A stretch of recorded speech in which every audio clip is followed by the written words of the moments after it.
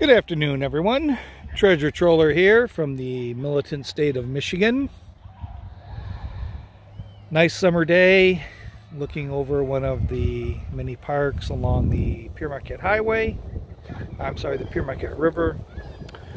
Uh, just a couple of things today. Uh, first, uh, Mr. Powell, Colin Powell. He hasn't voted Republican Republican since uh, Bush, so not such a big deal. He voted for Hillary. He voted for Obama. So what? Uh, the next thing is, it's just my job.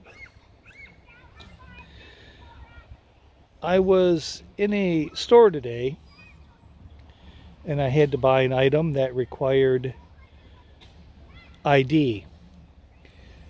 Now, for a lot of people, ah, little extra, little extra there for you guys. Uh, that requires ID. And now, for some people, their appearance may be in question as to if they're of legal age. Uh, mine certainly isn't. So, and I'm beyond the age of um, being complimented by someone asking for my ID. It's rather more of a, you have to be kidding me. So anyways, when I asked her about the ID and why I needed to show it, it was well, it's, uh, I'm just doing my job. I mean, I can either not do it and not get the product. But anyways, I wonder what's going to happen with some of those uh, Minnesota, uh, those Minneapolis police officers that were standing and just securing the scene and they were just doing their job. How do you think that's going to work out for them?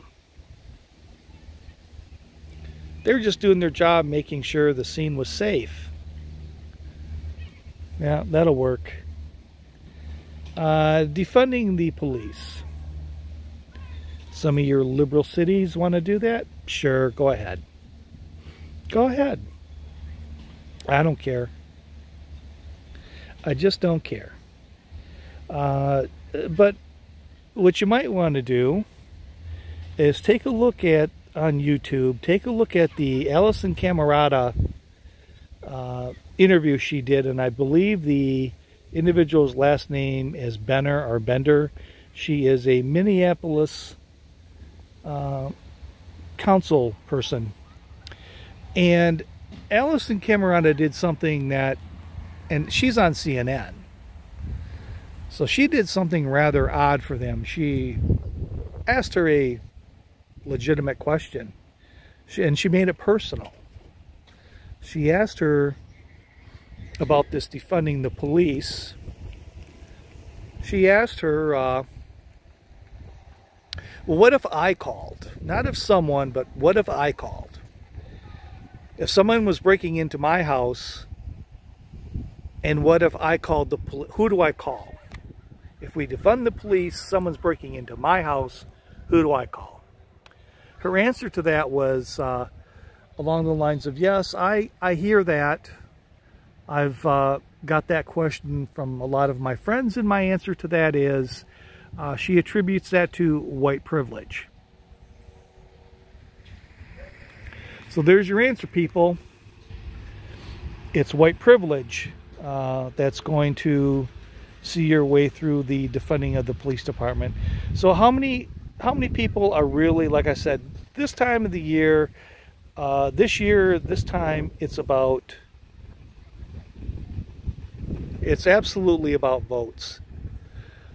Do you really think defunding the police is going to get any votes?